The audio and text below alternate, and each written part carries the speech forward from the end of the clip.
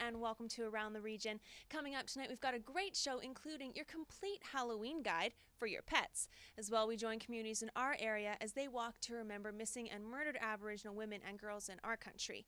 And tonight, we start off with a story of two survivors and how they're helping to raise awareness right here in our communities for brain injuries. The Brain Injury Association of Canada estimates that thousands of Canadians suffer a traumatic brain injury each year. Effects will range from not being able to remember names or faces to paralysis. Here in the border city, the Lloydminster and Area Brain Injury Society works with survivors of brain injuries and helps with treatment and rehabilitation. The thing about brain injury is that it's not. Um, there's no you're not predisposed to it there's no genetic markers for brain injury like there may be for cancer or diabetes brain injury can happen to anyone at any age any gender any race anything at any time Curtis Anderson knows just how long and difficult the road to recovery can be.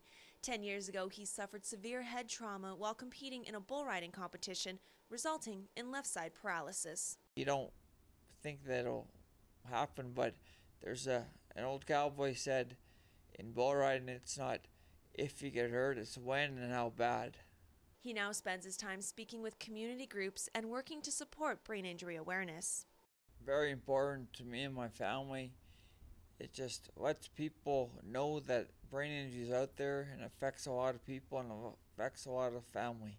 And it just to get brain injury on the map so people recognize it or know that it's out there. It's really good because a lot of places that I've spoke, there's been people that come up to me and either there's someone in their family with a brain injury or they know someone, and I've been able to give everyone a business card so maybe my speech might help them down the road, and it's pretty good when people come up and talk to you after you speak. And Curtis's story is inspiring people all across the province, especially those going through their own recoveries. One survivor said hearing my speech was a motivation for them to keep going in their therapy, and it doesn't get better than that to hear a comment like that. I spoke eight times in June, a couple times in July, and six times in August, and a few times in September. It's getting busier and busier, and it's just. And then I'm putting a book out this fall. It's going to be called Road to Recovery, and it's going to be in every UFA store. So that'll help raise awareness more and more. Every year in May, Curtis hosts the Courage Canada Trail Ride in our region to help support local brain injury agencies. In the past two years, we've raised 42,900. This year, we had 101 riders on horseback, 12 teams, 74 riders on the wagons, 250 for supper, and we raised 19,200.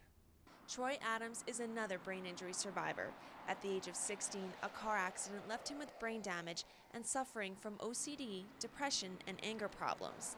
And like Curtis, he's turned his tragedy around, and this past April, he started his Cross Canada run to raise money and awareness for brain injuries. Took me about seven years to really come to terms with my brain injury, and um, I never really got ahead of the game until the last within these last two years, and that's also when I started running. Um, coincidentally, I wasn't a runner before, and I, I picked up running more so um, because I started realizing the, the, mental benefits more so than I did the physical benefits, and um, that's kind of where this whole ran, run came from. It was it was that simple. I started realizing the mental benefits, and then um, everything in my life started working its way back to norm, normal.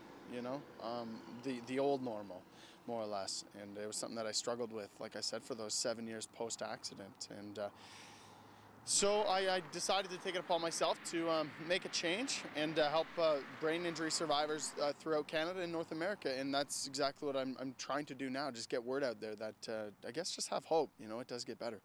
Even though Troy is halfway to his goal of raising $100,000, he says the awareness he's raising along the way is even more important it's not about the money to me. Of course, you need the money to be able to get into the schools, to be able to to fund the education side of brain injury awareness.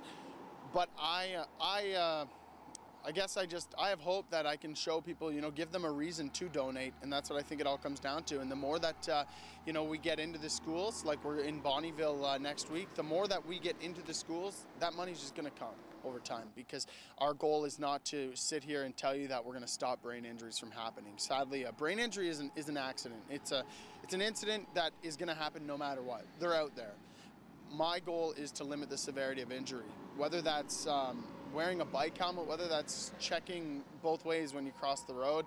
You know, whether it's like earlier today when I went over the handlebars of my bike, it seems so silly, but really, if I wasn't wearing a helmet, could you imagine, right? It, it just happens so fast. It's good to see other survivors or people that want to raise awareness of brain injury too, and it's just going to help that much more to get out there and people will see it, see what it, how it affects others. That's my goal to get out there and show people that. Uh, you know, I, I, I, don't have it worse. Don't get me wrong. Uh, there's a lot of people who've had it a lot worse than me, but I want to be on that uh, on the team that moves forward in a positive way, and uh, that's what we're here for, for, to do today. I think it's really great to see stories like this where survivors are coming together to help others that are going through kind of the same thing that they went through themselves. And when ATR comes back, we take a look at the high rate of violence against Aboriginal women in our country and how our communities right here in the region are standing up against it.